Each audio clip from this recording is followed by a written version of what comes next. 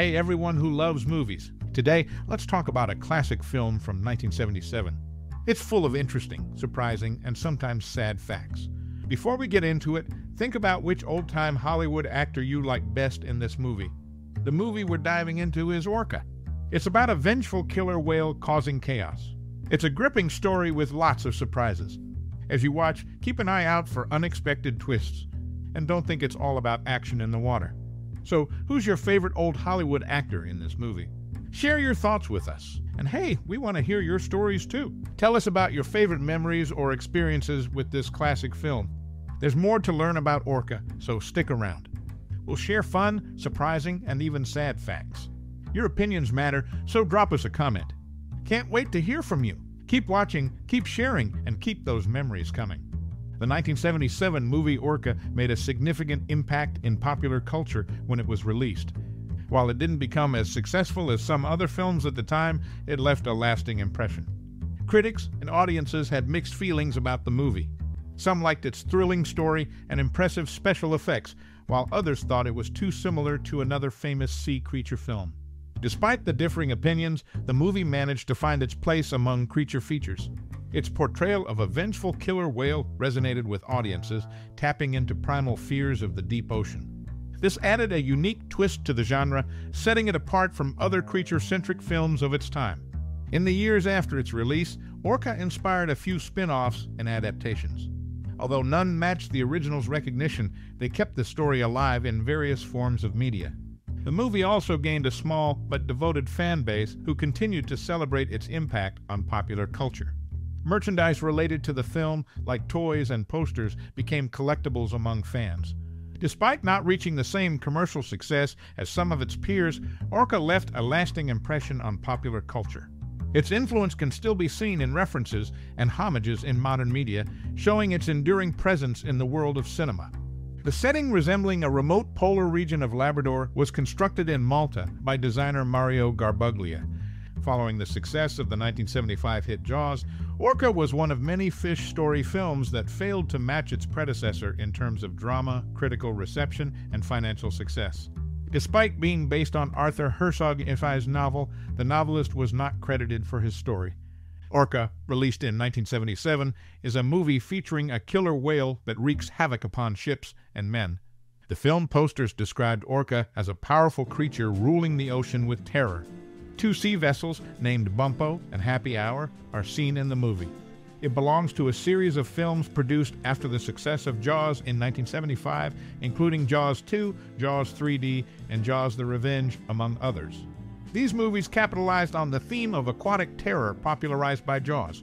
Orca, like its counterparts, presents a narrative of fear and destruction, with the titular whale as the formidable antagonist. Richard Harris, though satisfied with his involvement in the movie, expressed regret for passing on a role in Ingmar Bergman's The Serpent's Egg. During its debut at Fox Village Theater, Dino De Laurentiis, the executive producer, visited multiple times, hopeful for success surpassing Jaws. However, dismal earnings soon dashed those hopes. De Laurentiis lamented loudly to the theater manager, questioning why audiences didn't embrace his creation. Captain Nolan, portrayed by Harris, bears resemblance to Captain Nemo from 20,000 Leagues Under the Sea. Director Michael Anderson, known for adaptations like Around the World in 80 Days, later helmed a TV movie version of 20,000 Leagues Under the Sea. The 1977 movie marked the debut theatrical feature film of Bo Derek.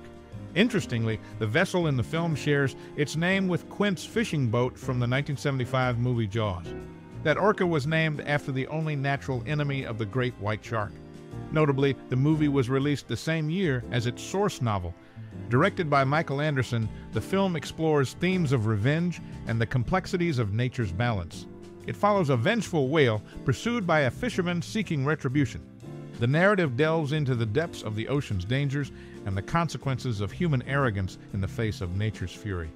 The film's gripping storyline and memorable performances captivated audiences, solidifying its place in cinematic history. In the film's closing credits, special acknowledgement is given to J. Barry Heron for his significant photographic contribution.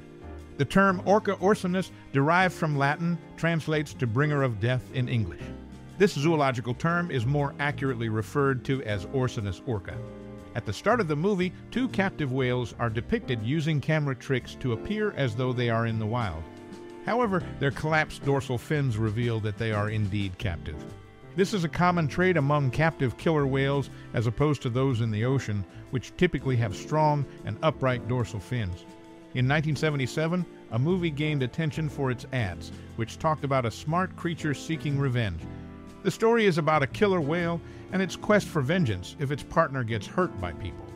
A famous actor, then 46, had a big part in the film and did his own risky stunts. He chose to do this movie instead of working with another famous director, which he later regretted. The ads for the film created tension around the killer whale's revenge plot. The actor's dedication added realism to the film, but came with dangers. His decision to pick this movie over working with a renowned director haunted him afterward. So, the movie Orca, released in 1977, tells a story about a vengeful killer whale. The actor's risky stunts and his sacrifice for this movie add depth to the story. In 1977, a film came out that echoed the theme of people facing off against big creatures, similar to Jaws. Luciano Vincenzoni, a famous Italian screenwriter, tried his hand at producing with this project, which was the only time he stepped into that role. The film used trained orcas from Marineland of the Pacific and Marine World Africa SA for key scenes. They also used realistic rubber whale models, which caused concern among animal rights activists. Thinking they were real, the activists tried to stop the fake whales from being taken to the set. The conflict between people and nature, shown through the trained orcas and lifelike models, added depth to the film's story. This movie stands out in Luciano Vincenzoni's work as a producer, showing his diverse roles in cinema during that time. In summary, 1977 saw the release of a film where people faced powerful forces, reminiscent of the Jaws era. Luciano Vincenzoni, known for writing, tried producing with this project. The use of trained orcas and realistic models, despite opposition, made the movie more engaging. This unique production showcases Vincenzoni's varied roles in filmmaking during that period. In the 1977 movie, the killer whale character was brought to life using animatronics. The filming locations included the coast of Malta and Newfoundland, along with stock footage from Marine World in Redwood City, California. The stock footage featured two captured killer whales named Yaka and Nepo, both caught in 1969. Nepo passed away in 1980, while Yaka lived until 1997. Early in the film, a shark was used, captured by the well known shark hunter Ron Taylor. However, the focus of the movie is primarily on the animatronic killer whale. There's an interesting anecdote about Richard Harris, who reportedly began drinking heavily on set after seeing a tabloid photo of his wife, Ann Turkel, with a younger man. Allegedly, he considered drastic actions, but was deterred after getting into a physical altercation, resulting in another person getting a black eye. The movie's production involved various challenges, from creating realistic animatronics to dealing with the complexities of filming on location. Despite these obstacles, the film managed to capture the imagination of audiences with its thrilling storyline.